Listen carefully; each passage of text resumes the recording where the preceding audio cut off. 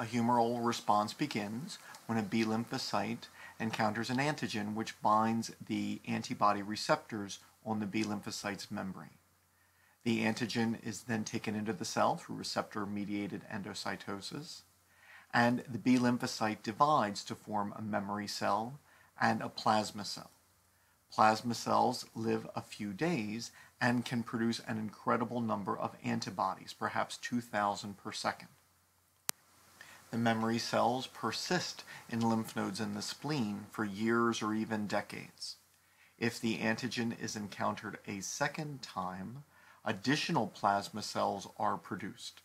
The secondary response is much faster than the primary response. Far more antibodies are produced. The antibody titer is far greater. And these can even be a different class of antibodies, say IgG as opposed to IgM. These antibodies might even bind more specifically to the antigen. Thus, the adaptive immune response changes with experience. He is responding far more efficiently to this microbe than I am because this is his second exposure and he has all these memory cells.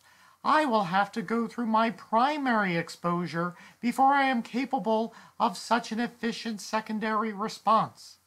This is why vaccinations are so important because if an infant is exposed to a form of the antigen that can't cause infection, then the individual's first encounter with the real microbe will elicit this secondary response with its much shorter lag time and its much higher antibody titer.